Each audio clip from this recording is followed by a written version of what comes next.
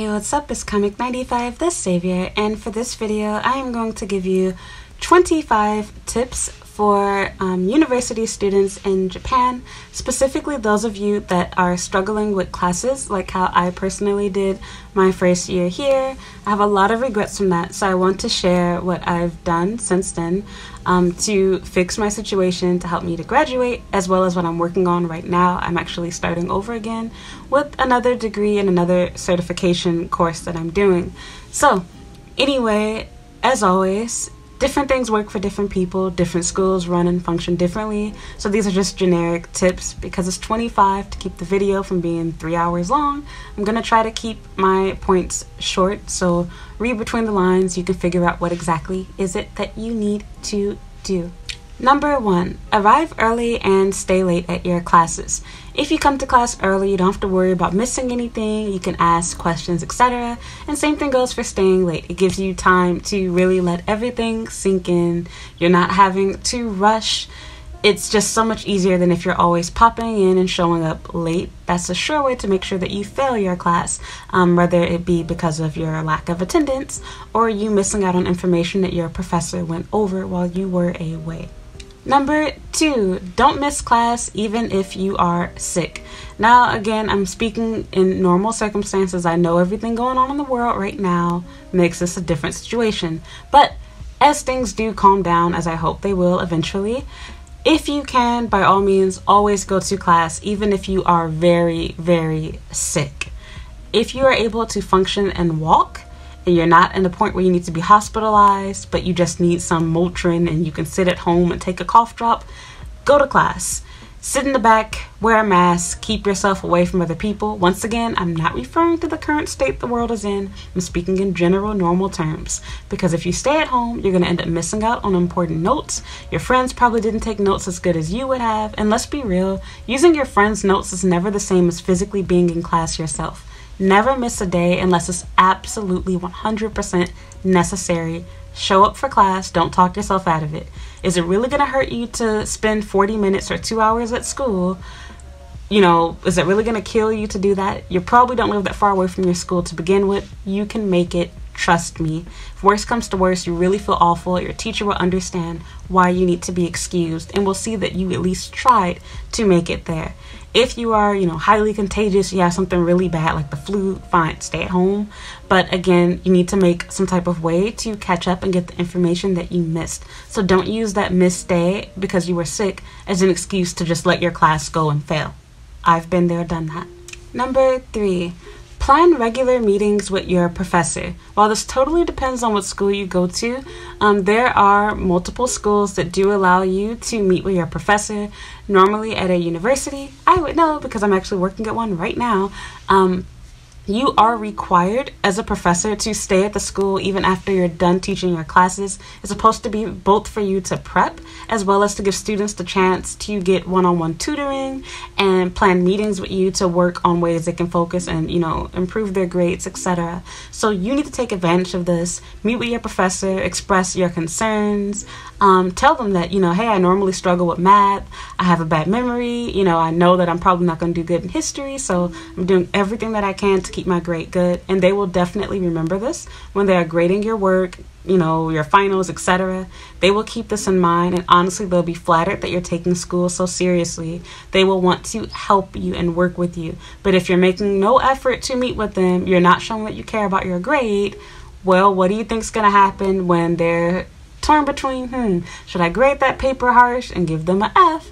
Or should I say, you know, they tried really, really hard to get a good grade. I'm going to give them a D, let them pass, or a C, whatever it is that you're required to get at your school. Number four, talk to both your guidance counselor and your professor about getting tutoring. Now, this is different from your regular meeting where, you know, your professor might brief you over what you guys are doing in class and try to see if you understand, but you can arrange actual tutoring with the work study program at your school and which is no cost to you, but that student, it's a, you know, exchange. So the student gives you information, you are helping them get money through the school. The school is paying them to tutor you. You don't have to pay for the tutoring.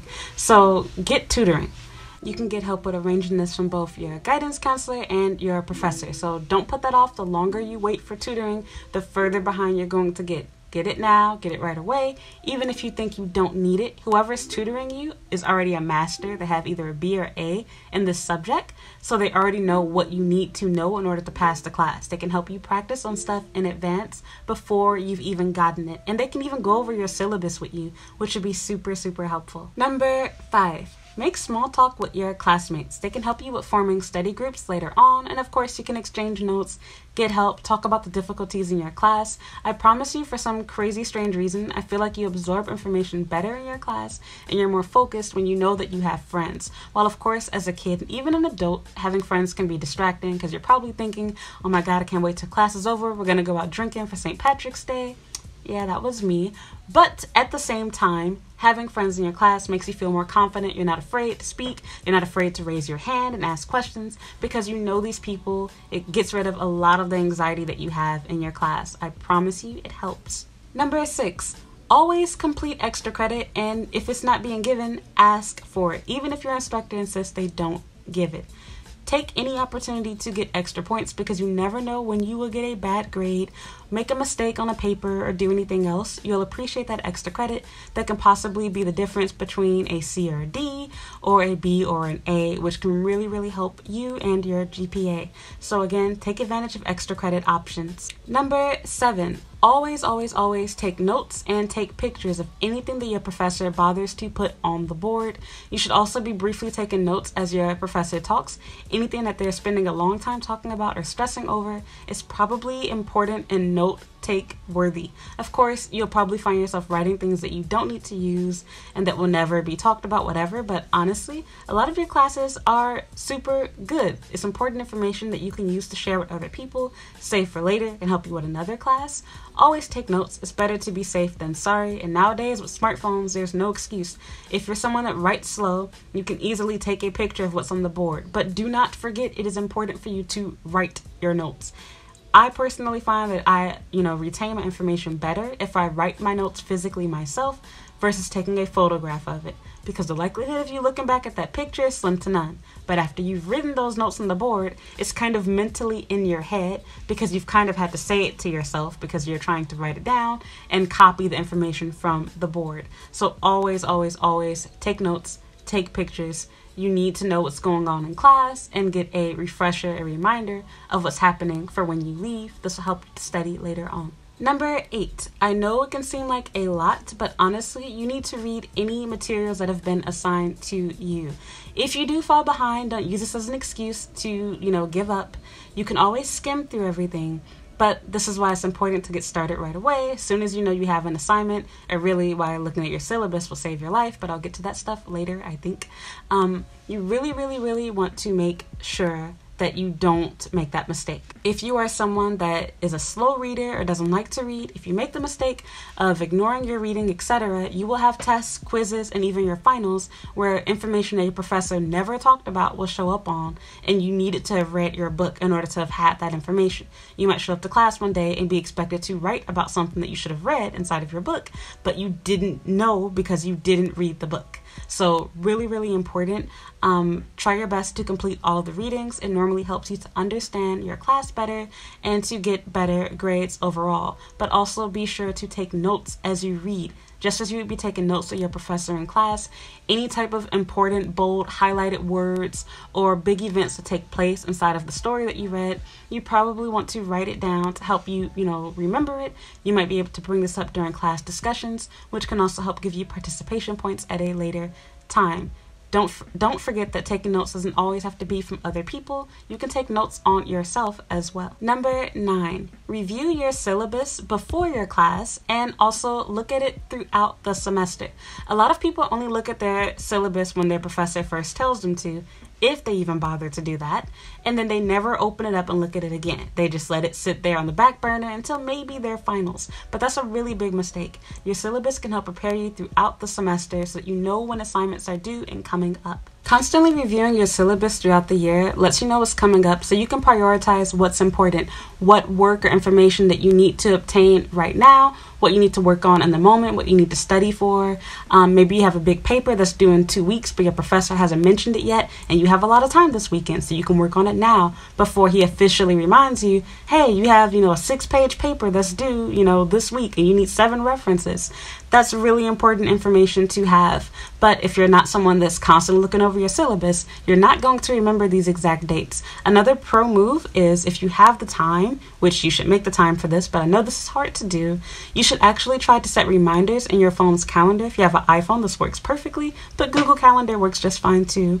You can actually set up and save the dates in which assignments are due and set reminders to go off, you know, anywhere from a week or two in advance to a day or two in advance, etc. You can set multiple reminders so that this way you won't forget and you can also save yourself time and not have to constantly look at your syllabus because it is saved there. But please always make sure you hang on to that and that you check it throughout, you know, your semester or year.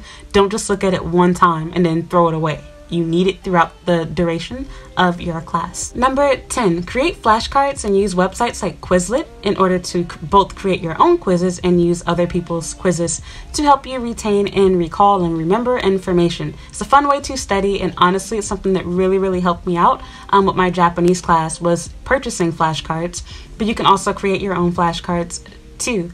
Flashcards don't have to literally be an index card. You can literally use a piece of paper or anything else that works with you, helps you recall your memory of something that was written. Don't forget that flashcards don't have to just be you literally looking at cards. Consider making your own flashcards by hand. I feel like this helps you remember it even better because if you make your own flashcards by hand and you don't just buy them, you can kind of visualize and remember the answers that you wrote to those questions. You can also continue to remake flashcards. You don't have to just make them one time. You can literally start each study session with you creating a new set of flashcards by using scrap paper or anything else that you happen to have on hand. Quizlet can be used online. It's free, it's easy to use, and a lot of the stuff that you want to make quiz, you know, quizzes for, someone's already done it. So it's super easy for you to just use the information that's already there. But do check to make sure that the answers for these quizzes are actually correct if you're using someone else's because it is possible that while they do have the, you know, topic that you want, their answers are different from the topics and choices that you will have in your own class. Number 11. Just as you're watching YouTube right now with this video, don't forget that you can also utilize YouTube to help you with studying. There are tons of videos that will teach you how to do complicated math like algebra, geometry, trigonometry, calculus, anything that you might struggle with, you can find a YouTube video on that will break it down and teach you how to do it. There are also plenty of websites like mathisfun.com that can help refresh your skills and brush you up on the basics of math. And there are even old fashioned computer games that you can play that can actually teach you how to solve math problems in a fun, easy to remember way. Don't forget that while you might be, you know, watching a YouTube video, um, playing a computer game, etc., you can also take notes on these things too that can help you later on. It also pays to do some sample problems, etc., to help make sure you really understand the material that you've been practicing, watching, and, you know, playing around with online. Number 12 before submitting your work, always have at least two to four different people that you trust that you know are intelligent, not just anybody. Um, check over your work before you turn it in. This is especially, you know, something that you really need to do before submitting a lengthy essay. Um, you really want to make sure that it's free of any grammatical grammatical errors um, that someone else that you know you know and that you trust is a good you know English speaker, good at writing, reading, whatever, can probably catch things that you don't you know catch or that spell check doesn't.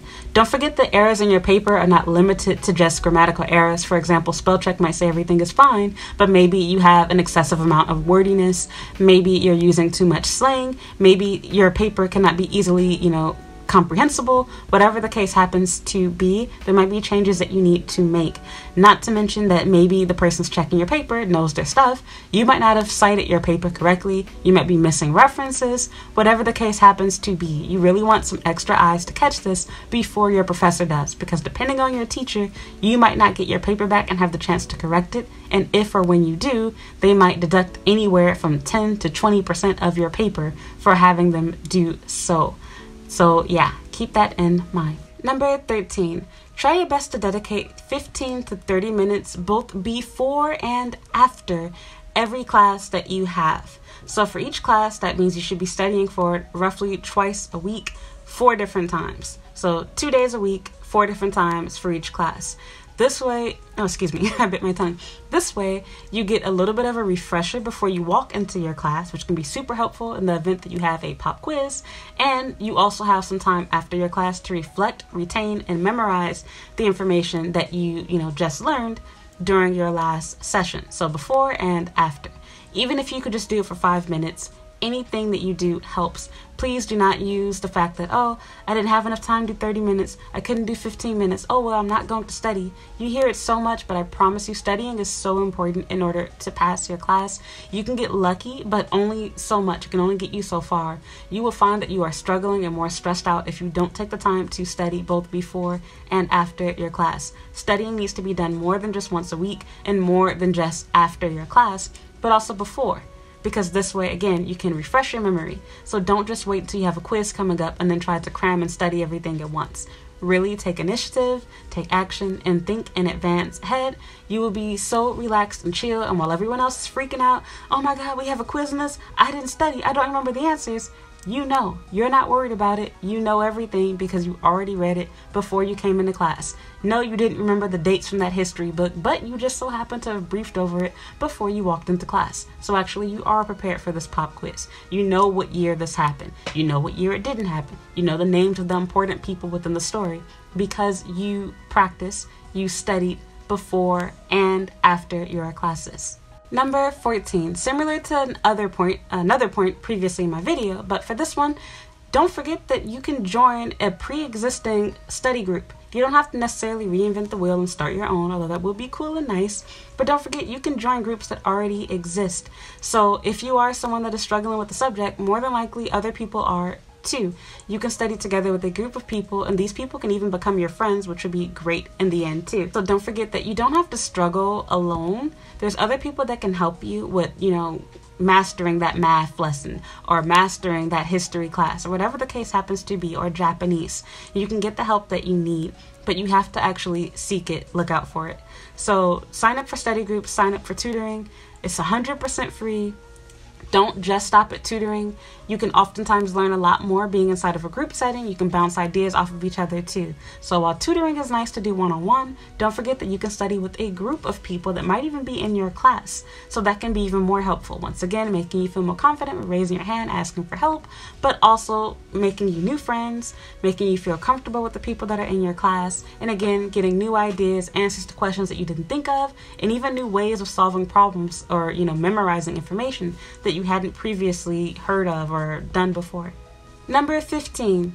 There's nothing stupid about raising your hands. The only dumb questions are the ones you don't ask. You know how the saying goes. Raise your hand, be brave. I know, I know, I know, I know.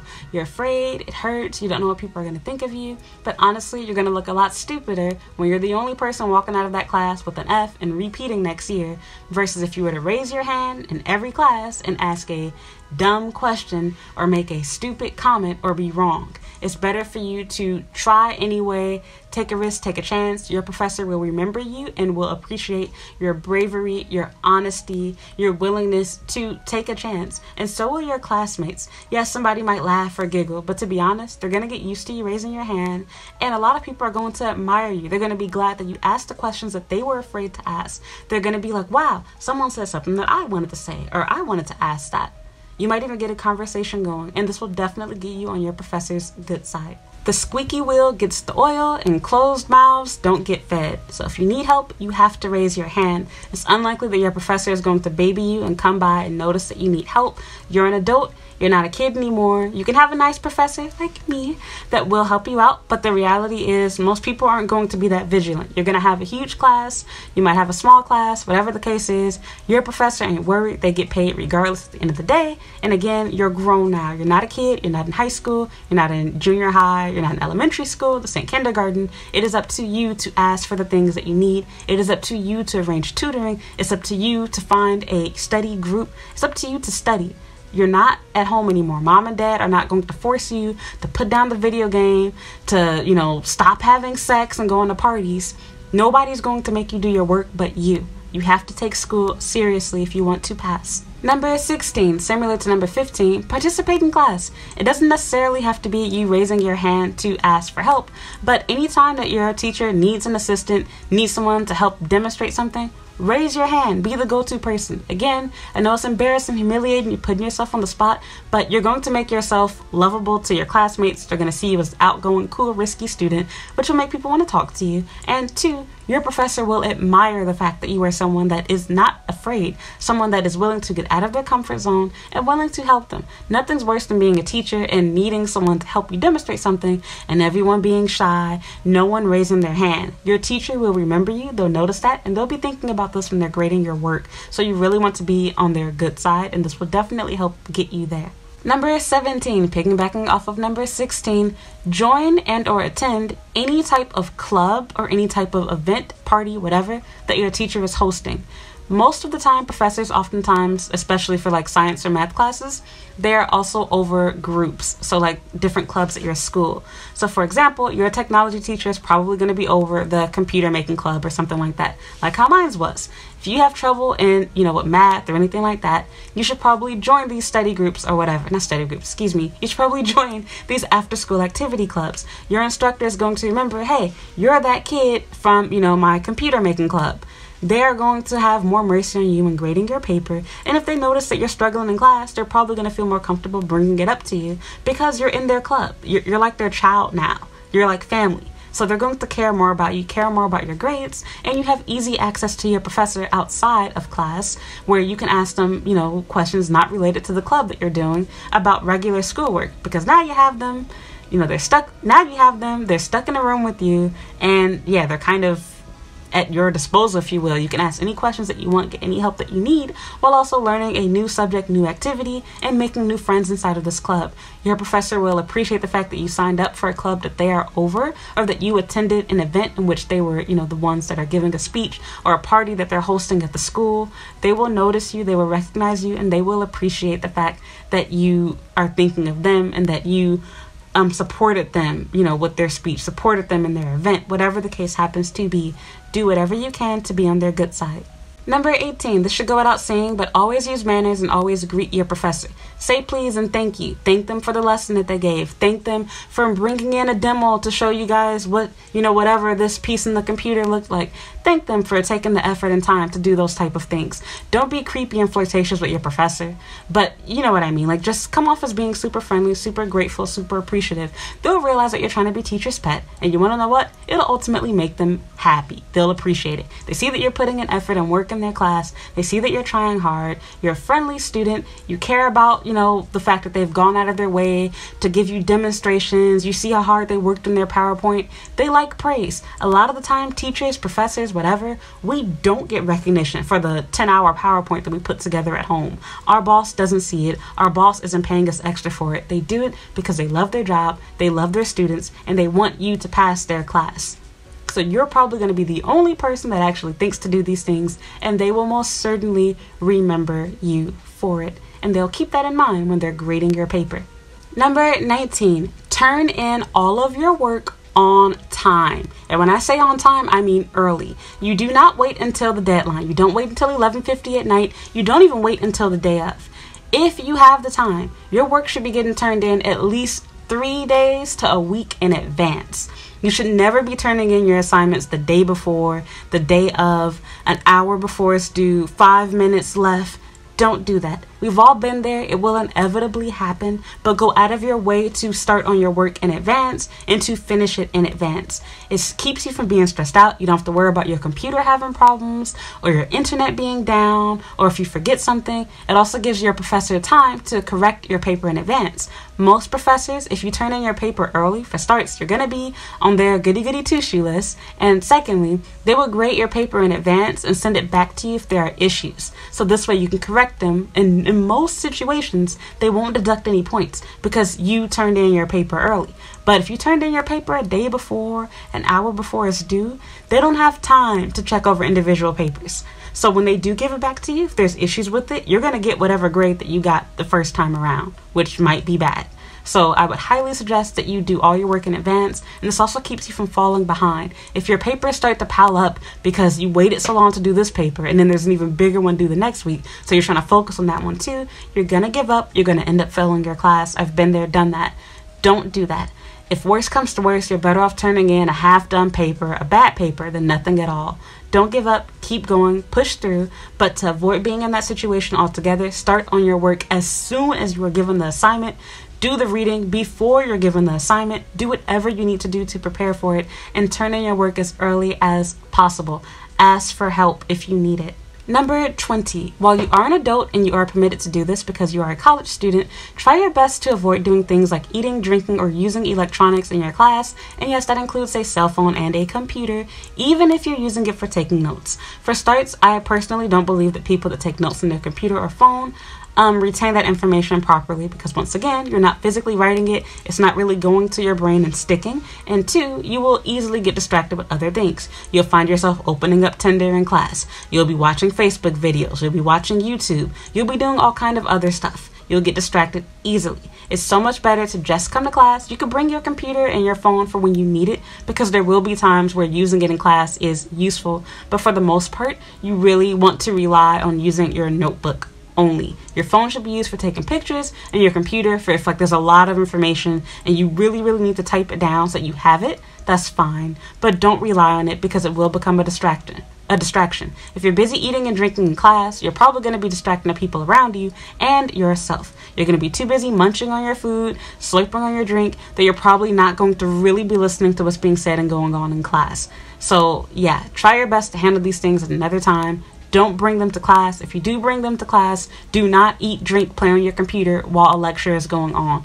Please wait until the be- you know beginning of your class when people are just talking, or the end of class, or some type of time in between work when you're not doing any work and there's a break. Maybe you finish before everybody else. Use that downtime to eat, drink, play around on your computer, or type up your notes. But try your best to stay off of your electronics. Keep food and drink out of your mouth don't find distractions. It will hurt you in the end because you're not going to have your undivided full attention on your professor, on the screen, on the board, whatever you are focusing on in class. And number 21, similar to number 20, make sure you handle everything from 20 before you go to class. So that means that you need to eat, drink, use the bathroom before you have class. I mentioned these points in another video, but this is specifically for students that are struggling. Make sure that you handle, you know, your issues with being hungry when you need to go to the bathroom before class starts. You don't want to be getting up in the middle of the class for a bathroom break or because you're hungry and needed to go eat a Snickers in the bathroom like how I have. Yes, I know it's unsanitary, but I was hungry. I couldn't help it. So, yeah, you don't want to do anything crazy like that. You want to be in class for the entirety of the time. Remember, your teacher already got their degree, they already got their paycheck too. You're paying them. So, the money that you're paying them, they're not even teaching you, they're teaching other kids. Do you want that? Do you want to give your teacher money to teach other people besides you? You're not getting that money back. There's no deduction. You can't say, I went to the bathroom for, you know, 30 minutes, so I want 30 minutes, you know, worth of my tuition back. Nope, they got it. So you should want to be in there for the duration of the time your teacher is teaching. Even if they go overtime, I would rather stay longer because hey, free free money basically. Number 22. Read your notes to yourself at home. I think when a lot of people study, they simply look at their textbook and there are any papers that their teacher gave them, but they don't spend a lot of time actually going over their notes and not just flipping through your notebook, but actually read your notes out loud. Read them to yourself, read them in your head, read them out loud, and do this in silence. You don't always have to have music. Some people feel like they study better with music, but to be honest, I thought that too, and I found as I've gotten older, I feel like I actually study and retain my information a lot better when there's no music but rather total silence. Now I understand why libraries libraries want you to be quiet. So, yeah, if you need to go somewhere private where you have big open space like a library, do it. But do keep in mind that at college, oftentimes you will be distracted because your friends will be in there being silly, playing, making noise, flirting, kissing, whatever type of stuff going on, and trying to recruit people to go to bars and parties, which sounds fun, but it's not going to be fun when you're getting deported because of your low attendance and bad grades in Japan. So think about that before you choose to participate in those things. It's going to have long term consequences. So yeah, you need to find time to actually read over your notes to yourself because it does no good if you just take notes and you're not actually looking back at them. And by looking back at them, I don't just mean skimming over them. You need to actually be reading what you wrote. Defeats the purpose in taking notes if you're not going to actually read them. That's the purpose of notes, right? Number 23, go to bed early and wake up early. If you know you have a class at 9 a.m., you should not be going to bed at 1 a.m. or 2 a.m. You shouldn't be going out drinking the night before either, so you're not hungover.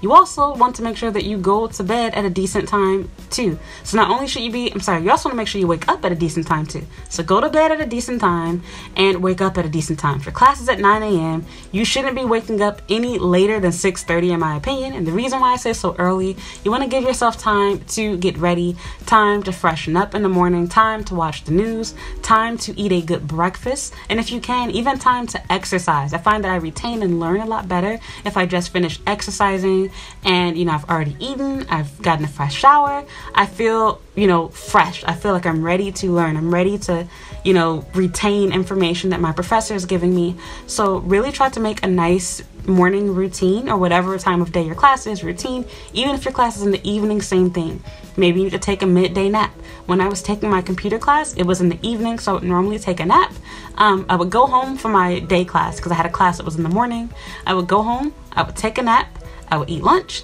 and by the time I wake up, I'd have a little bit of a pre dinner, and then I would go to my class, and I knew afterwards I was going to actually eat my dinner. So have a routine down. Um, have an actual plan for what you do each day, but make sure that once again you are actually going to bed on time. If you are really sleepy, um, you know, when you get to class or hungover, tired, whatever, it's going to be difficult for you to concentrate, difficult for you to learn. You're not going to memorize the stuff that you, you know, saw or wrote down in class. It's going to go in one ear, out the other because your mind is focused on your bed. Your mind is focused on, oh, why are these lights on? I have a hangover. You're not going to be in the right place to learn. Number 24 always come to your class prepared. That means checking your email, checking your syllabus, checking over any notes, um, checking to make sure that there's no notifications, no homework that was due, etc. Um, et you really want to check your schedule, your itinerary, and know what's going on in class so there are no surprises. The worst feeling is, of course, walking into a class, finding out that a paper was due that you did write, but that you left at home, or that something that you had started on was due, but you didn't remember that it was due today. This is where having reminders and looking your syllabus throughout the semester. It really helps you. But always make sure that you check this stuff every time before you have that specific class, just to give you a refresher. Um, you'll oftentimes find that it might even tell you maybe you needed a particular book, maybe you needed to bring something into class. So, really important information that you'd have otherwise missed. And last but not least, number 25, reward yourself. You need to give yourself an incentive to actually study and work hard. If all you ever do is work, work, work, work, work, school, school, school, school, school, no party, no date, no fun, no friends, no drinking, no nothing. Not to say you have to do things like drinking or having sex, etc., but you get what I mean. Whatever you like to do, whatever is fun for you, whatever excites you, if you don't give yourself time to have fun, to do things that you enjoy, you are not going to stick with this plan. You're going to be miserable and you're not going to enjoy your time here in Japan. Of course, you want to enjoy your time living in Japan. You want to watch anime. You want to read manga. You want to try new food. Reward yourself with those things. Reward yourself. Say, hey, if I finish, you know, these 30 minutes of studying, I'm going to go out for yakiniku. Or if I finish, you know, these 15 minutes of studying, if I finish these 15 minutes of studying, I'm going to read the next chapter in, you know, my anime, my, my manga, whatever. I'm going to watch an, an, you know, an episode of anime or I'm going to listen to that new K-pop album or whatever you want to do. Give yourself a small thing that's easy to obtain, not something ridiculous, so that you can actually feel like you're working towards something. Make big and long-term goals. If I pass this class, I'm going to go to Hokkaido to see snow monkeys. So give yourself something that will keep you working and make your working worthwhile. Of course, the great within itself and the privilege of being in Japan and remaining a student here should be enough, but of course, we need little steps along the way too. You are in a new country, you do want to have friends, you do want to have fun. Give yourself things to look forward to. You don't have to spend all your time working and studying. You can still retain and remember information, even if you do waste some time doing things you don't need to do, like partying and going on a date. But we're human, we're social creatures, we need to have fun and do other things. There's nothing wrong with that. Always remember to reward yourself, whether it be giving yourself a piece of candy, letting yourself watch a movie, whatever the case might be. But don't forget to still live within your means. You are a student. So, that's that. Thank you so much for watching. These are my 25 tips to help students that are struggling academically here in Japan. If you have any tips you'd like to add to this list, maybe you are a student or you were a um, student in the past that you would like to share with other people that are coming to Japan as students or that are here struggling as students, please feel free to share your experience down below. As always, everyone's situation experience is different, but I wish you the best of luck as a student. Um, please don't give up. Don't be a quitter like how I was. If you do fail your class, you do make a mistake, you do goof up your year, you do mess up with your financial aid, it's okay. You can fix it. You can work and earn money to go back to school. It's never too late. You can always go back and fix and change the things that you messed up. You can move forward. Remember, the good things that's coming for you is in your future. It's not your past. You have to put it behind you. You have to keep going. I know it's hard. I know it sounds cliche, but it's so true. There's no need to stress out over it. And it's really the enemy um, talking to you that's telling you, oh, well, you already failed that class. So don't worry about it. You're not going to have a high enough GPA, or you already failed that assignment, so you're not going to pass this class. Well, you already paid for it, so you might as well keep going anyway, so you can get the information to pass it next time around. So be positive, be optimistic. Is it worth it to let all your money go down the drain because you know you won't pass the class? You've already paid for it. They're not going to give you a refund. Keep going. So don't give up. And just because you failed one paper, even if it's a really big one, and your teacher said that they absolutely do not allow you to redo it, your teacher might make an exception for you because you've shown how hard you're working, because you've shown that you are trying to pass this class. You've begged them, you've made an effort, you've met with them, you've done everything that you can. Don't give up. So anyway, thank you so much for watching. If you enjoyed this video, please give me a like and leave a comment down below. And if you haven't already, please subscribe to my YouTube channel. I have an entire playlist and blog post section specifically for students in Japan. Um, I highly suggest that you check that out. Sorry, I kind of spit for students in Japan. I highly suggest that you check that out too. And I would also appreciate it if you follow me on my social media. I have an Instagram and Twitter account that you can follow. You can add me on Snapchat, and I'd appreciate it if you like my Facebook page as well. Thank you so much for watching. Bye.